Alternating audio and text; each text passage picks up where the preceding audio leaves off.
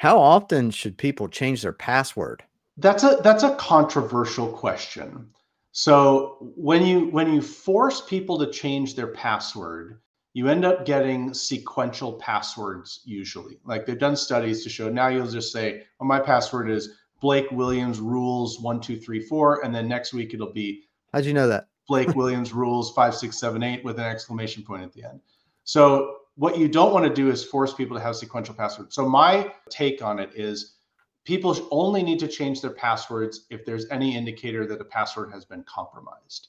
The strongest passwords that you have are the ones that you know that are long and strong. And that's probably the one that you use to get into your password vault or you use on your personal machine at home or something like that. So you want to make sure that you have some good, long, strong passwords. And besides that, use a password manager. And then if there's any indication that things are compromised, then you then you rotate those. But that's it. And if you ask me for my password for 99% of accounts, I have no idea what it is.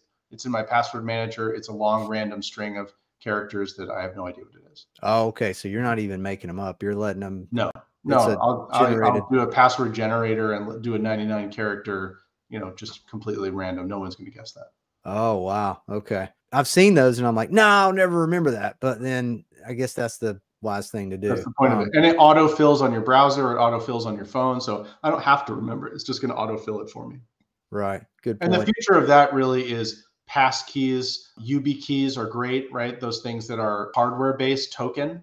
So like the things that I really need to protect, I put those with YubiKey protection, and then I have to plug in the device. I have to touch it. So it has to be me and it has to be a physical thing. So even if somebody was somehow able to get into something, they'd have to have that physical device, which unless they steal it from me, they don't have. Well, it's interesting. You're talking about the quantum computing, quantum decryption. So it's like a password that might have been stolen in some data breach 10 years ago or five years ago. Mm-hmm. And I'm mm-hmm. still using that password. It may just be a sitting duck out there waiting to be decrypted yeah. and hacked.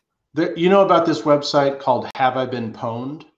No, never heard so, of it. Free free website developed by a guy who I think still works for Microsoft.